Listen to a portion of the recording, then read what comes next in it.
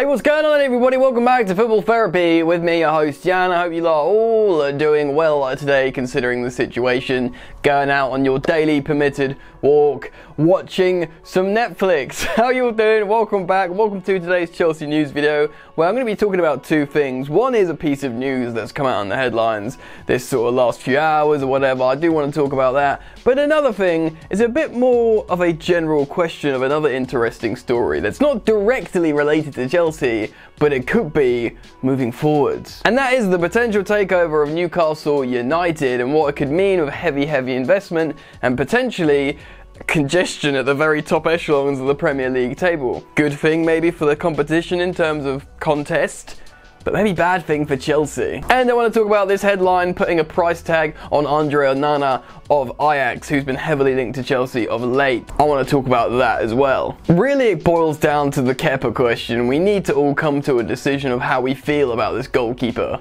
Hmm. Flash facts for you guys though. Did you know that the majority of you guys watching this channel aren't subscribed?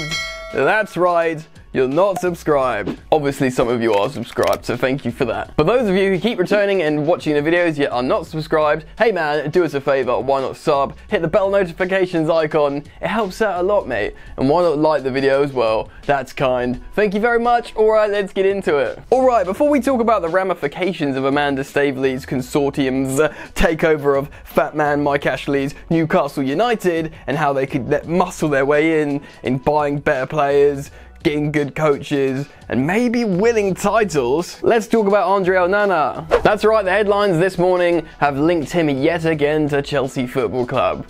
Goalkeepers, man. Goalkeepers, goalkeepers, goalkeepers. Dean Henderson, Nick Pope, Gianluigi Donnarumma, Andre Onana, and there is there's more. There's definitely more. We know Frank Lampard was disappointed with Kepa he dropped him for way more games than we thought he was going to drop him for. We all know that he wanted to bring in new goalkeeping staff, uh, goalkeeping coaching staff, goalkeeping staff. I suppose Kepa is goalkeeping staff, so maybe he does want to bring in new goalkeeping staff. So yeah, goalkeeping staff, he wants, yeah. As things stand, we know Caballero is out of contract, and although Frank Lampard, it was nice that he could rely on a 38 year old to do a few bits and even play some Premier League games for him, he will want a replacement second goalkeeper, one that he can basically rely on because we know Frank Lampard now, he's not going to play someone just because they cost a lot or they're the number one theoretically. Just like he drops Kepa, whoever is the number one at Chelsea, regardless of what time, he will drop for a number two. So for me, regardless, I think Chelsea are going to buy a goalkeeper when the summer transfer window opens, provided it does open as normal. Caballero will be released. I don't think it will be Jamie coming. I think Chelsea will get a second goalkeeper. So, first things first, I think Chelsea are going to buy a goalkeeper regardless. Whether they'll spend 35 million pounds on a goalkeeper to be in competition with another, I'm not so sure, but that's the headline today that Ajax have slapped the price tag of 35 million on Andre Onana for Chelsea. Obviously, Onana wouldn't want to be a second goalkeeper. He's the first goalkeeper for Ajax. He's very, very good indeed. He's young, promising, and highly rated. Obviously, very, very close friends of Hakim Ziyech, and that would be a nice story if they could both arrive at Chelsea together. But it poses a difficult question. I think personally, if Chelsea buy Andre Onana, of course they want to replace Kepa. More on Kepa in just a moment. But then I still think they'd look to get another goalkeeper as well for a second goalkeeper. I think I genuinely think Frank Lampard wants a really decent level second goalkeeper so he can challenge or play in the cups or if the first goalkeeper's form drops off a cliff like Kepa's did this season, he can bring him in. So it's a weird one. Even though I'm adamant Chelsea are bringing in one goalkeeper, who knows, maybe even two if he really doesn't want Kepa. So let's talk about Kepa Arrizabalaga. Now, this is the thing, right? It's another one of those big debates around Chelsea Twitter, football Twitter, football media. I think a lot of people, certainly a lot of Chelsea fans, recognise that Kep is a very talented shot stopper. Um, he's very agile. He's actually quite good at sweeping, and he's not a bad footballing goalkeeper. All the stuff that you generally want in a modern day goalkeeper. And I think he's a good age as well, and a lot of Chelsea fans would be happy to keep him moving forward to nurture said talent and ability, and it would feel bad to sell Arrizabalaga to another team and watch him become one of the world's best goalkeepers when Chelsea gave up on him. But at the same time, would I feel, I mean, I'm one of those people, okay? I'm one of those people that definitely think he's talented and see the value in him regardless. But at the same time, I kind of feel like if you said to me, right, you start next season with either Andre Onana in goal or Kepa in goal, I think Kepa's very, very talented, but for some reason, I do feel like I just feel like I'm in safer hands with Onana in goal. Now, I haven't watched Onana loads. I've watched him in the Champions League and a few Ajax games, but I rate, rate him very highly as a keeper. Maybe it's just because it's the sort of almost non-recency bias. Like you feel like a new person in goal will bring new things, and you've got bad recent memories of poor goalkeeping stuff. You know, I know Kepa had a couple of good games at the end of the season, but so many games he had weak hands. I don't know. I've just got this instinct that I'd feel a little bit more comfortable for a campaign in front of me with Onana in goal over Kepa. But uh, do I think we should sell Kepa? I don't know. Probably not. You'd make a massive loss on him. And maybe he will become this beast. It's such a weird situation to be in, but I can kind of understand why Chelsea are looking at a new goalkeeper. Maybe Frank Lampard just says, look, mate, I've had it with this guy. He put my whole season in jeopardy. I want a new goalkeeper, please, Marina Granovskaya. Onana's half the price of Kepa, less than half the price go for him, please. But really, want to get your guys' opinions on this.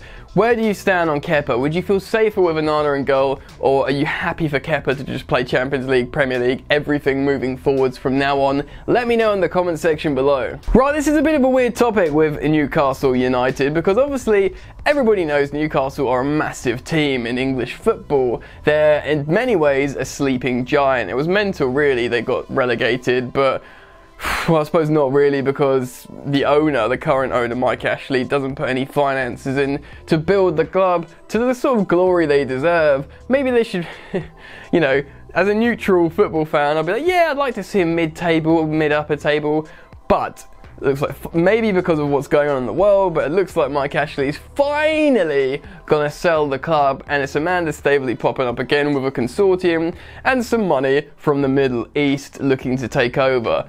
Now, I'm not going to talk about the politics of this move and where the money's coming from and human rights and all that. You can go look at all that stuff online. I don't really want to put my opinion on that, even though it's not overly a positive one. Hashtag spoiler. Let's talk about the ramifications of a big financial takeover. First off, Newcastle would get lots of money. Now, that's fine. You know, again, I'm not going to talk about where the money's come from. You know, whether it's like oligarchs like Roman Abramovich buying Chelsea, although he is an individual, he's not a state with no human rights. Okay, I'm not going to get into it. I'm not going to get into it. Newcastle are a big club, and it's not the worst thing in the world. They get money to sort of live up to their name and maybe buy some big players again. And that's the thing, man. If they do get the finances to sort of reflect what sounds like it could be coming, they're talking about linking like getting Max Allegri as the manager of Newcastle. I think Max Allegri would respect the size of Newcastle. He'd like the fan base, how you know the city's like a football city and all this kind of stuff. You know, in terms of like the romance of a big club and a good fan base, Newcastle are great for that, right? So Allegri could be attracted to that provided there's the money to build a team.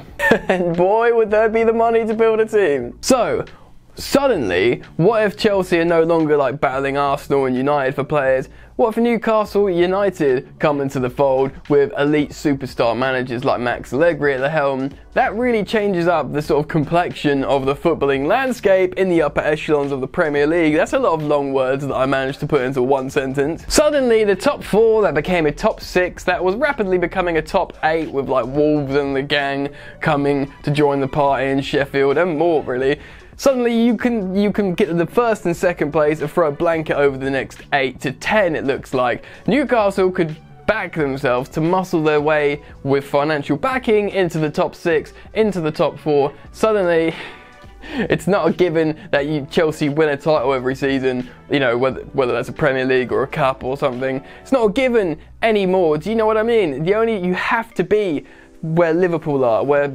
City were these last two years. It's going to be a top two. I think it will go from a top six, top eight, and then just really be a top two.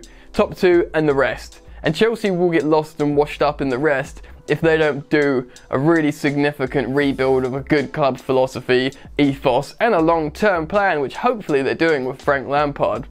We'll have to see. Anyway, it's a massive story in world football, and I wanted to talk to you guys about it because, you know, who knows on this channel in like a year's time when we're covering football again, we could be talking about a massive six pointer at the top of the table with Newcastle United. It could happen. So, anyway, I want to also take a second to thank everyone who's hanging out with me on the daily live streams on FIFA 20 Chelsea career mode. It's so much fun. It's way better doing it live when I talk to you guys and you guys help me build the team, uh, you know, give me tips and getting better at FIFA essentially, and just do all the finances and all the cool stuff with uh, Chelsea career mode. So if you want to come and hang out and join the daily streams, go subscribe to Yan's Yard. The link's in the top of the description every day at 6 pm. Loads of fun, so go check out. And also follow me on social media at Football Yannick on both Instagram and Twitter. That's it from me, ladies and gentlemen. Enjoy the football that is not going on at the moment, and I will see you later. Ain't so tough with that bad boy tuck. I'ma get it how I'm living, I'ma walk the walk. Outline my lines, I rap through thought. Body bag the verse, outlined in chalk. In my life, seen trouble, hustle on the double, silence on the trigger like my pick got a muzzle. Yo, chick like to guzzle, bad boy stay in trouble. I only love this paper, sorry I don't. I laugh me, baby.